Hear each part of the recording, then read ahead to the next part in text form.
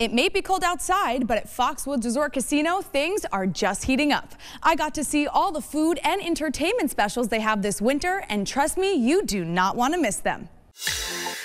Foxwoods is your destination for Winter Wonder. I spoke with Vice President of Entertainment Monique Sebastian to get the scoop on the season's hottest events. And one of my personal favorites is our Royal Rosé event, and that's all things rosé all day. So you get to taste over 100 different varieties of rosé wine. The event takes place on Sunday, February 16th, and you can capture all the fun at one of their pink-themed photo spots. We have some really good um, Instagrammable worthy moments. It's such an amazing time. If you're looking to be entertained, Foxwoods is bringing Broadway to Connecticut. Their Broadway series features award-winning shows The Color Purple, Finding Neverland, and The Choir of Man.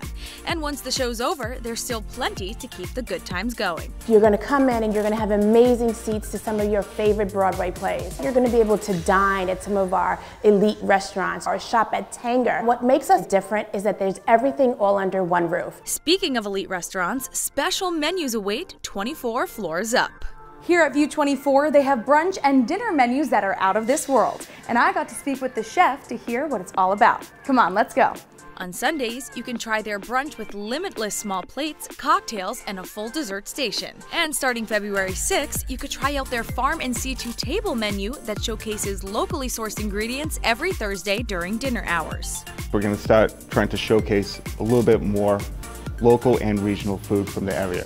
So, you know, work with a few farms every Thursday, generate a menu, create a prix fixe you can have with wine, everything paired. We're very excited. And Chef Yaffe wants just one thing for his customers. That they want to come back next Thursday.